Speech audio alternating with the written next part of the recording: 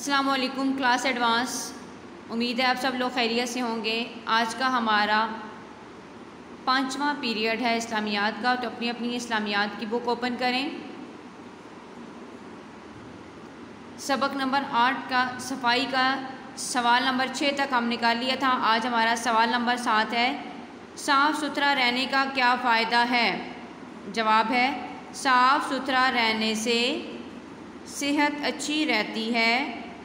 और हम बीमार नहीं होते।